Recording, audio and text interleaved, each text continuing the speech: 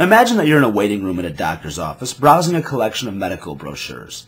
Just before you're called in, you notice one's cover boasting that if you follow its contents, you could live as long and healthy of a life as you desire, without limitation, even eternally if you so choose.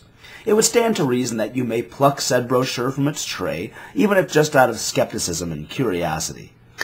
When you see the doctor, you inquire about what seems to be a rather incredible claim coming from a brochure found in a legitimate medical institution. To your surprise, your trusted doctor vouches for the brochure and insists that you follow its specific instructions. And if you do so, it will no doubt provide you with a blueprint for as long and healthy of a life as you wish, including immortality if you so choose. At this point, your doctor advises you to read the brochure from cover to cover, every word of it. Read it daily. Use it as flawless guidance for a healthy life. He does warn you that some of the writing is a bit dry, including terminologies difficult for a medical layperson to understand.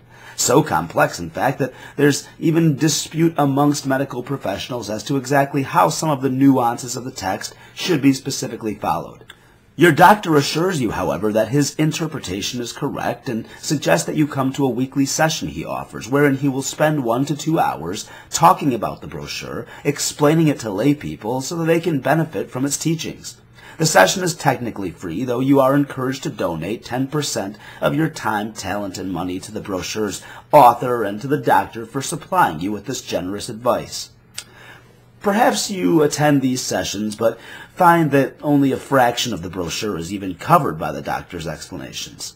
Though he ensures you that as long as you keep attending the weekly meetings and follow its teachings, you shall have everlasting life. Sound familiar? Well, answer me this. Under those circumstances, might you bother to actually read the pamphlet in question in its entirety on your own? I mean, it wouldn't be that much work, right? Even if you had trouble understanding some of it, given the stakes that we're dealing with, might you do what it takes to figure it out? Might you do some independent research until you felt satisfied with your understanding of the text? What if it were more than just a brochure, a magazine, a novella, a book, or even a series of books? Might it be amongst the most important things you could ever read or possibly ever do, especially if you're genuinely convinced that its contents are true? Wouldn't that mean that there would be no such thing as an excuse of not having time or being too busy that could possibly stop you? And what if I told you that the majority of the United States of America believes that a book exists which provides them with instructions to indulge in an eternal paradise? Not only that, but what, that the alternative to not correctly following its instructions is eternal damnation and fiery torment. They believe this so fervently that most of them distrust and despise those who don't believe it more than any other demographic just for not believing that book or any other books with similar claims.